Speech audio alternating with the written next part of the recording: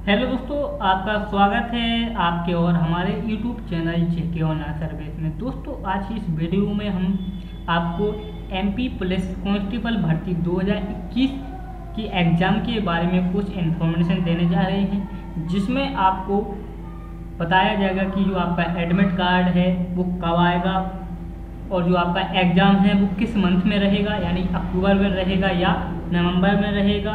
या इसकी डेट आगे भी बढ़ सकती है? इसकी जानकारी दोस्तों हम आपको इस क्लास में देने वाले हैं। तो दोस्तों, आपको क्लास को पूरा देखना है और प्रत्येक जानकारी को यहाँ पर आपको मिलेगी।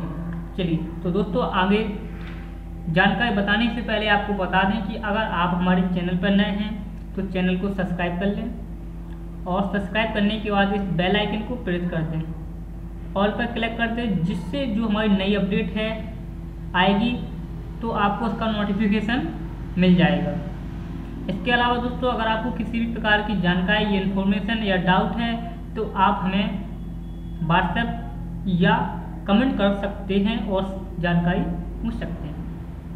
अगर व्हाट्सएप ग्रुप में जुड़ना चाहते हैं तो उसके नीचे लिंक भी दे रखे हैं तो आप व्हाट्सएप ग्रुप में जुड़ जाइए, जिससे डायरेक्ट ही आपके ग्रुप में या मोबाइल पर आपको इन्फॉर्मेशन मिल जाएगी प्रत्येक वैकेंसी एडमिट कार्ड एग्ज़ाम के बारे में। तो दोस्तों, चलिए बात करते हैं एडमिट कार्ड की एमपी प्लस की।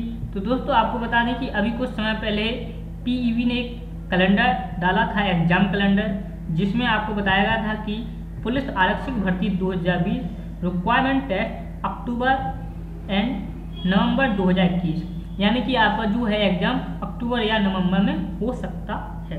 लेकिन इसमें अभी क्लियर जानकारी नहीं दे रखी है कि आपका जो एग्ज़ाम है वो अक्टूबर में होगा या नवंबर में होगा।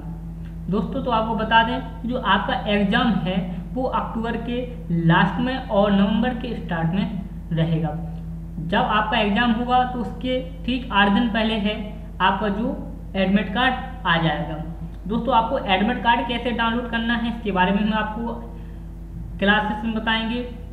तो आने वाली क्लासेस के लिए आप चैनल को सब्सक्राइब ज़रूर कर लें। इसके बाद जो इससे भी संबंधित और भी जो नई अपडेट आएगी आपको, यहाँ पर हम आपको डेली देते रहेंगे। Thank you for watching